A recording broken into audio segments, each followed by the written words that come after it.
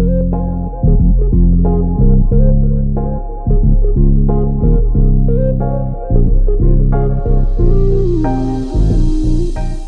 what up, everybody? It's your boy Ivan DJ Supafly, doing a quick little review rundown of the uh, new phase uh, update. Uh, of course, it being beta right now. I kind of wanted to go through the software and just kind of show you all the things that I've been noticing lately and some questions that I've been getting from people, you know, to seeing if uh, it's able to hook up to a mixer. So, um, yeah, so let's get into it. So, as you can see, uh, I got it hooked up already. I got it here, and it's literally on a USB cable and uh, running into the mixer back here, and then the mixer is being uh, into uh, pushed into Serato. So um, it's all connected, all good to go. And I've been messing with it for uh, a few hours here, and it seems to be working just perfect. Um, the only thing that I do uh, that I have noticed is um, the meter part. I do have this USB meter, uh, how much voltage and amps are, are um, each USB port is um, outputting so um, I kind of just want to uh, put a big red flag out there for people that want to uh, use phase with a mixture. It is possible because that's the way I have it hooked up right now. Um, but there is a little hiccup um, because there's not enough amps going out of this uh, where it's going to charge it um, where it's actually going to charge the remotes. So I'll show you that in a bit. Uh, but I kind of wanted to go through with the little new settings that they come up with. And um, first with Serato. So as you can see here with Serato, they got a little uh, battery display, which is pretty cool. I don't have the other one hooked up. Here, let me change it. So we change it to wireless mode and it's charging right now. So, but I think that's pretty cool. Uh, you can see it over here if I take it off. 100%. Sweet. And that was quick. Like, it didn't even have to, like, wait. Uh, this is 33, 32 because I've been messing with it um, and I've been using a setting that's like kind of uh, using more signal and it's going to use more battery so uh, I've noticed um, that has died like quick so I'll probably switch these out in a bit. But anyways I thought that was a pretty cool new feature that they added. The fact that they're able to display the batteries on there um, without you having to you know open the app. So there's a pretty cool feature that they added to um, the phase program here, which is pretty cool. Um, many DJs are familiar with uh, calibrating the remotes. Of course, if you have both remotes um, on the turntable spinning at a zero pitch, you can either have it you know, at the zero um, or uh, quartz lock. Make sure you turn that on on both turntables. And for the sake of the demonstration, I'm just going to show you one.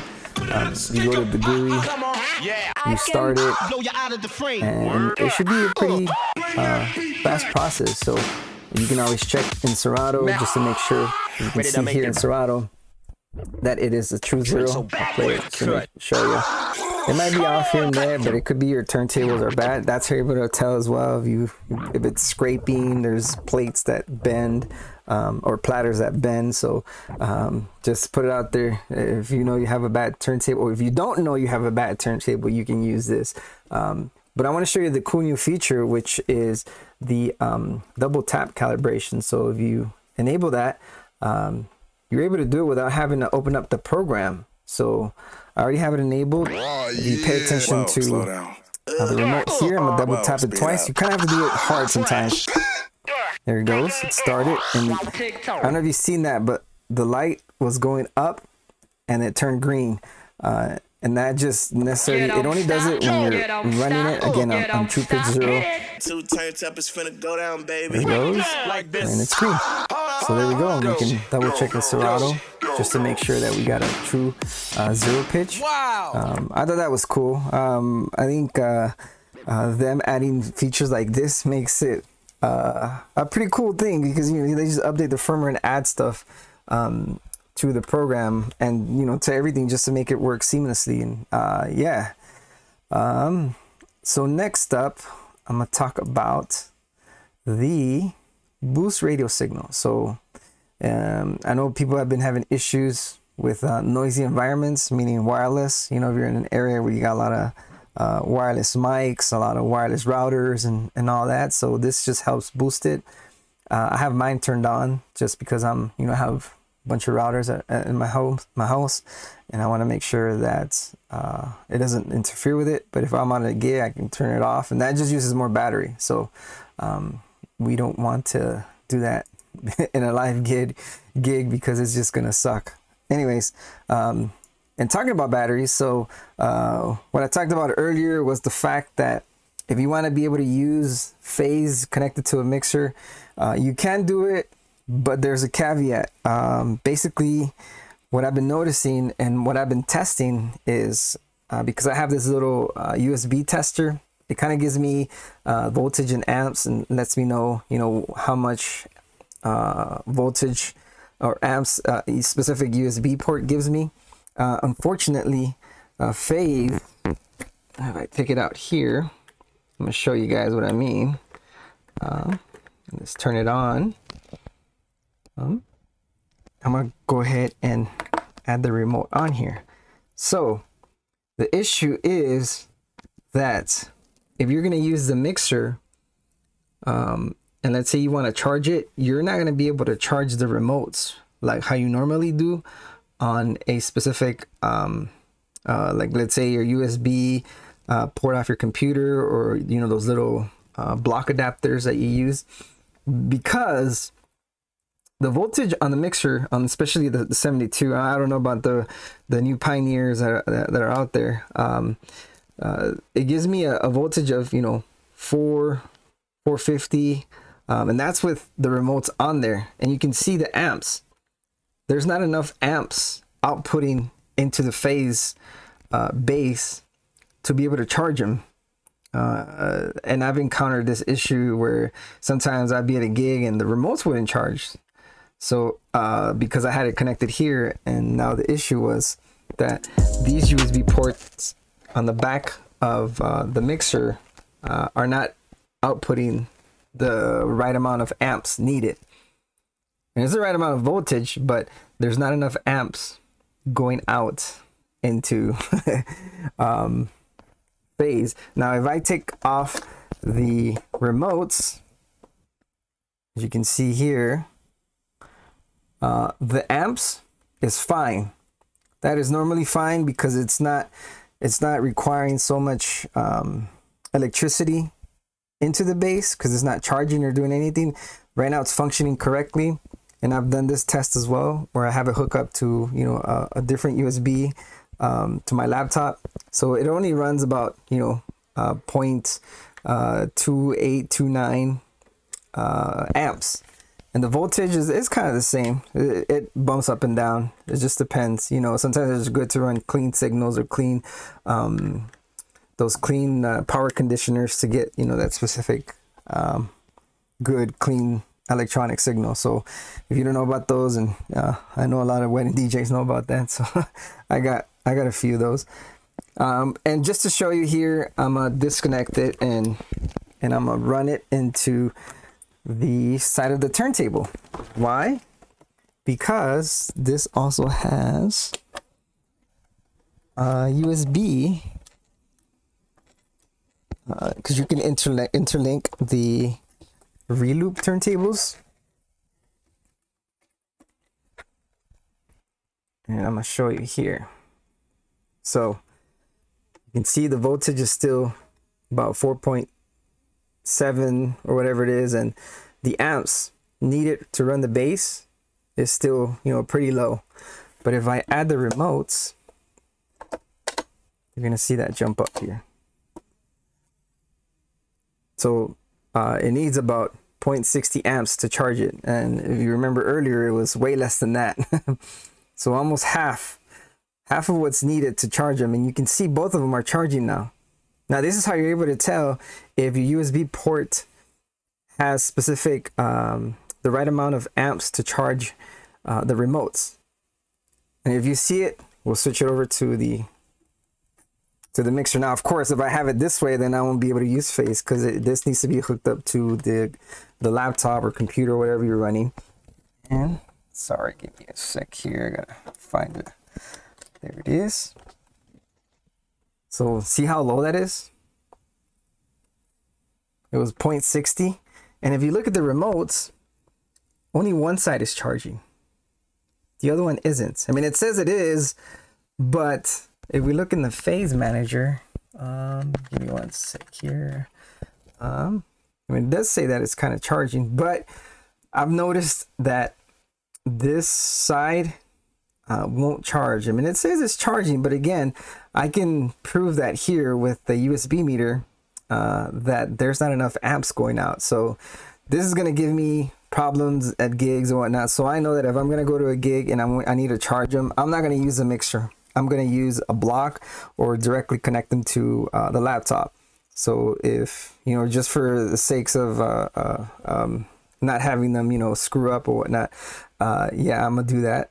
And I hope everybody that's watching this video notices that, that, that if you're going to be using this, I know because everybody's trying to eliminate having so many USB uh, hubs or they don't have enough ports so they have to run a bunch of dongles and stuff like that and they want to use this. Just bear in mind that you're gonna have to have um, uh, uh, the remotes charged before you actually use it in the mixer. And you know right now mine is at one's at 30 percent um, and it's not gonna go up. Like I said I've tried it. It's gonna go up real slow and I'd rather get more amps going into it by plugging it you know to a, a, different source like i said. And i know that the turntable is is is inputting you know voltage directly from the wall so there's nothing else hooked up to it. So i know it's going to give me the correct amount of um, voltage and amps. Uh, but see the voltage is kind of the same. So um, there's a little other different things that i've tried just to verify that um, that number isn't is is not really changing drastically. Um, you kind of see it there now. One side stopped, so that kind of worries me. Um, maybe the turntable is not enough to run. Let's see. I'm gonna disconnect it. And I just did that just for the sakes of, of I haven't even actually tried it in the uh, in the turntable. So there we go. They're both charging now. Oh, one stop. So I think that was 100%. That's why. But this one, when, when we hooked it up to the mixer, it's not charging. So I know when that one is 100%, it just stops. Um, now we'll try it with a battery bank, which I'm assuming a lot of people do. And this is what I do as well when I'm, you know, on the road or whatever. I need to turn it on. So let's see here. So yep, we got a little bit more higher voltage uh, and the amps about 0.50 um, you know we're looking for to make sure that they're charging correctly is 0.60 uh, and I've gotten that voltage from a laptop so uh, or uh, a block uh, the, the, ones you connect right to the wall. Um, but I think it's 0.50 because the this one's already charged so it's not you know necessarily needing more um, amps I just kind of removed it just to show you. And we'll take both out. And then, and just to run the base, like I said, it needs uh, 0.27, 26. Uh, so if you're gonna run phase using the mixer, um, I highly recommend that you have your remotes charged. Um, and that's just gonna eliminate the the the confusion of all right, well, my remote's not charging or they're not working. We're having issues is because of that. And this, not necessarily, you know, uh, before we'd have to run the RCA cables into the mixer. And now, um, since we're just using one USB cable, um, we know that uh, there's not much more information being sent to it because the sound would have, you know, you're eliminating a step, if that makes sense. And I explained that in my last video um, when uh, the phase uh, beta was released. So again, this is a beta version. That might change in the future. Um, I'm not completely sure how uh, Rane or phase or whatever is gonna maybe fix this, but it's it's not necessarily you know phase's fault. It's not um, Rane's fault either because they didn't think that this USB hub was going to be used for something like that. Um, I can tell you that if you're going to be running it this way, uh, all you're sending is MIDI information.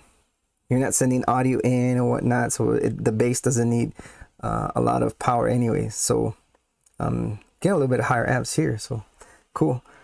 So yeah, I'm just gonna mess around, play around here for a bit so we kind of want to see what the uh what the the the new phase update is like. I've noticed that it is much more on point. Like the drift is gone. Like there's there's no drift which is crazy. And it's hooked up. So we'll confirm that it's running on pitch zero here. It's not even detecting it. So let's go back not let's see if we can fix it this way. Oh i know why. Because i don't have the thing here selected. And I, I need to get used to this because this is just something new and i'm just going to use internal mode on the so i got a beat laying over here and i'm just going to scratch. So yeah